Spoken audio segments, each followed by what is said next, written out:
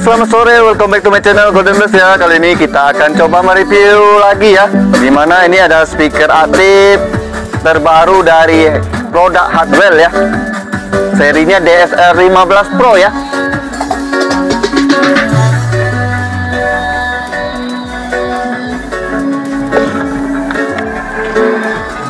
DSR 15 Pro ya. Ini model kotaknya kayak gini ya. Nah, kita lihat. ya. Ini udah ada spe spesifikasinya ya. 15 in two active speaker ya. Woofer 15 in ya, 3 in pulse coil ya. Ini speknya ya. Ini kurang lebih dari spek yang untuk drivernya ya, Twitter ya. Ini ada line innya apa ya. Dan dan dan, dan, oke. Jadi nanti kita lampirkan juga mungkin speknya nanti di itu ya.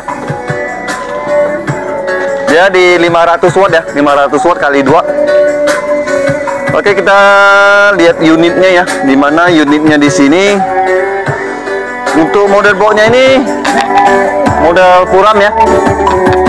Fiber. Puram fiber ya. Ini ya. Ini ada coweknya ya, masing-masing ada coweknya. Jadi untuk modelnya lumayan beda sama speaker aktif lain ya. Dan dia di posisi ininya bisa jadi monitor juga. Ini ada kaki karet sedikit ya.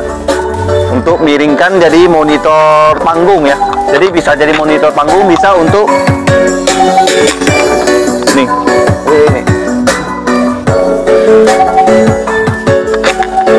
Hmm, ini monitor panggung. Jadi bisa untuk vokal untuk ini ya jadi bisa didirikan dirikan bisa pakai stand juga. Ini ada posisi untuk lubang stand juga.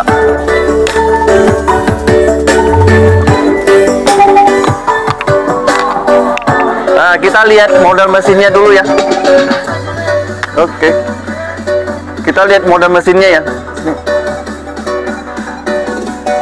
Ini kita terangkan dikit untuk model mesinnya ya. Jadi di sini model mesinnya cukup simple ya tapi di sini pastinya dia ada model pilihan modenya untuk uh, jenis-jenis musiknya ya. Misalkan dia ada empat pilihan ya. Input pertamanya dari normal ya. Normal.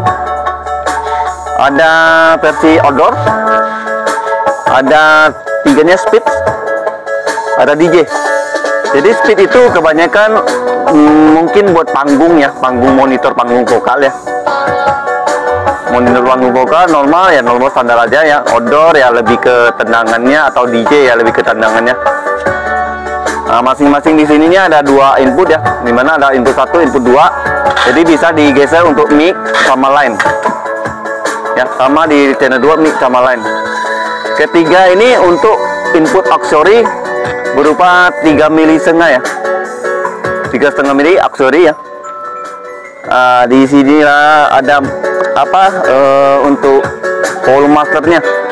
Dan pastinya ada buahan line out ya. Biasa untuk panggung kita bisa di paralel dari speaker yang satunya. Jadi dia polos tanpa USB Bluetooth ya.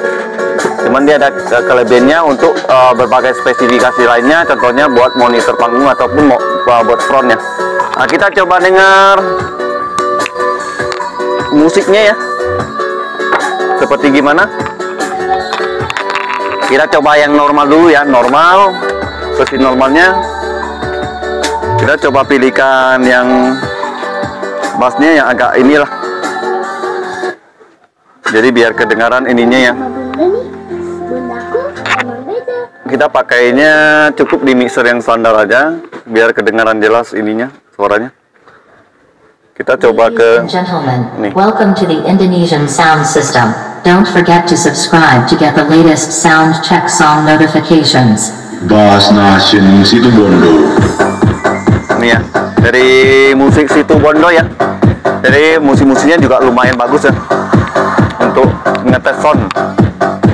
Kita di versi normalnya dulu ya. Normalnya kita pakainya di 3 per 4 mixernya kita normalin aja ya coba dari depan bang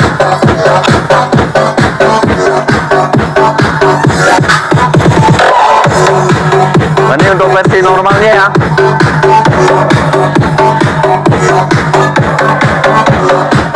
Kita coba pakainya di versi lain. Tunggu, kita coba pakainya di versi outdoor kedua.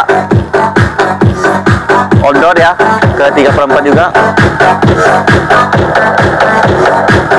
Suara lebih keluar ini ya, kurang lebih berapa ini ya? Berapa persentase ya?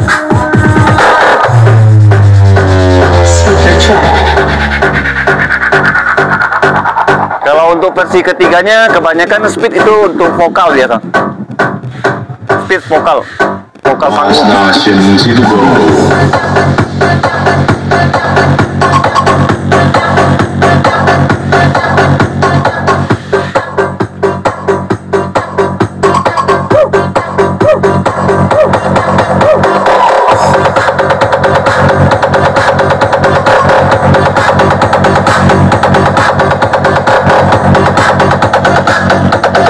Selanjutnya kita pakai yang model mode DJ ya.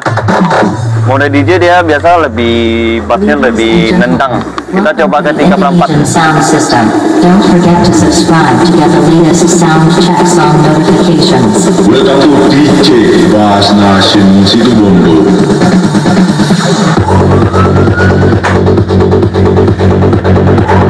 Jadi untuk versi mode DJ-nya itu dia untuk bass lebih nendang ya, lebih nendang ya pastinya.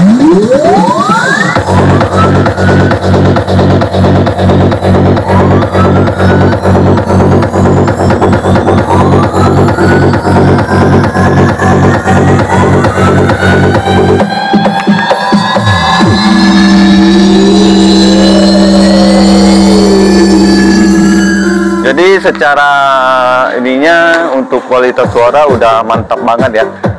Di harga kisarannya kurang lebih sekitar 5 jutaan atau 6 juta gitulah kurang lebih ya. 5 juta 6 juta. Kisaran rank harganya ya ataupun 6 juta lebih ya. Beda-beda ininya ya. Pokoknya yang pastinya dia hampir sekelas sama Hooper J10 Hooper J10 Nanti kalau untuk perbandingan suara antara JS10 sama Hooper ini apa DSR 15 Pro ini ya kurang lebih ya ada segi perbandingannya lah kurang lebih kayak eh, kurang lebih tipisnya kayak suaranya kayak gimana beda karakter pasti eh, ada beda-beda ininya. Dan dia dengan wattnya yang sama 500 watt juga ya.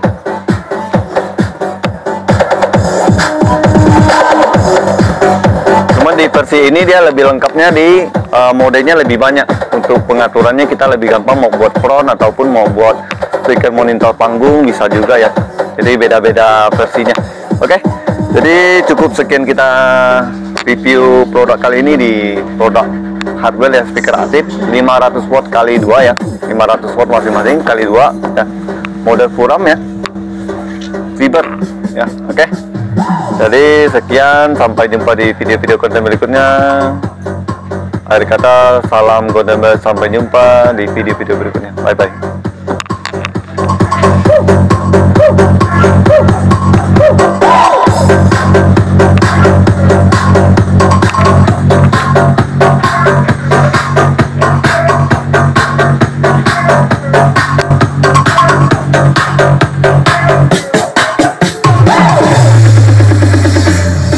Ladies and gentlemen, welcome to the Indonesian sound system. Don't forget to subscribe to get the